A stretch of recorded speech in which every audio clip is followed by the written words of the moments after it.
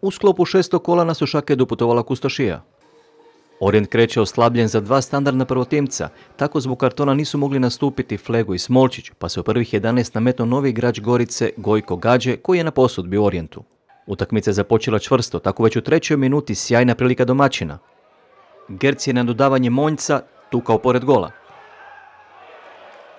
U petoj minuti gol za goste.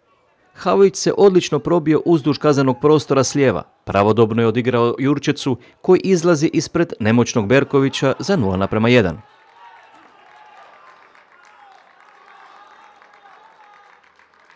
On niti dalje napada, te tako Tadejević centrirao, no obrana je brža. Edin Fatić je umalo bio precizan nakon ubačaja iz kuta.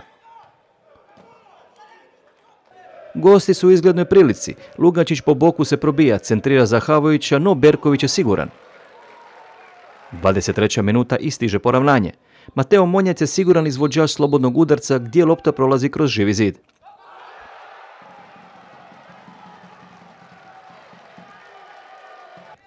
Domaćin je opet u prilici, nakon kratkog dodavanja, no vratar Šušković boksa loptu.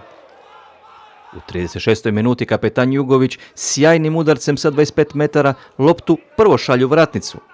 Odbijenu loptu Kerlava šalje preko vratiju. U samom početku drugoga dijela Liber je sjajno odigrao za Monjca koji loptu gura pored golmana, ali prejako. Lavovski se Havović probijeo prema domaćem golu, no čuvar Berković je na visini zadatka. Odličan Berković opet intervenira. Ljubanović je u izglednoj situaciji, no neuspješan. Domaćini ne popuštaju. Fatić gađa pored vratnice. U 89. minuti jedna dvojbena situacija. Antonio Dedić u solo akciji prema golu. Vištica ga prati. Dedić pada u kaznenom prostoru, ukazujući da je bilo povlačenja, s čime se ne slaže Ivan Matić i pokazuje Dediću žuti karton zbog simuliranja. Pred kraj susreta ritam utakmice se diže, no bez rezultatskog učinka. Na kraju zaslužena podjela bodova.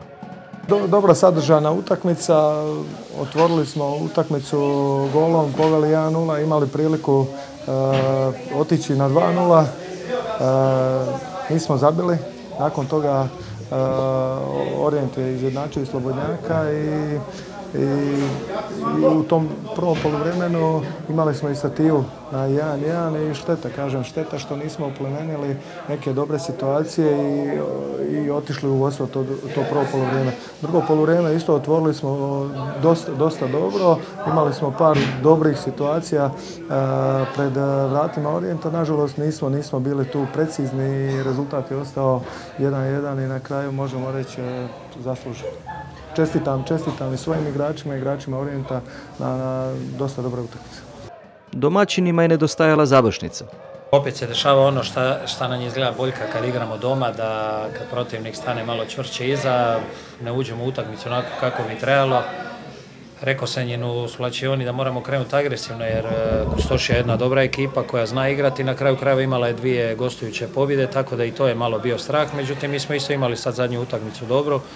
Očekivao sam bolju reakciju igrača, moram reći. E, normalno, na kraju nema njim puno toga za zamjeriti. Falila je završnica, falila je realizacija. Eto, iz jedne naše šanse se desilo to da smo mi na drugoj strani primili odmah pogodak iz prve njihove šanse, ali eto, na svu sreću uspjeli smo se jako brzo i vratiti. Nakon 20 minuta mislim da smo opet mi bili ti koji smo držali ritam, koji smo ovo, ali opet mora naglasiti da je Kustoš jedna dobra ekipa i neće biti nikome lako s njima.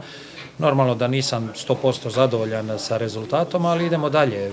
Glavno da se nije izgubilo, bod po bod, e, da smo tako odigrali protiv Međimurja, bilo bi isto dobro, ali kažem, jedna dobra utakmica, nažalost fala je malo realizacija, ali htjenje i želju mojih igrača ne mogu zamjeriti. Nadam se da ćemo u srijedu opet na trećem popravnom uspjeti. U srijedu se igra nadoknada utakmice, tako da na Krimeju dolazi sinski junak.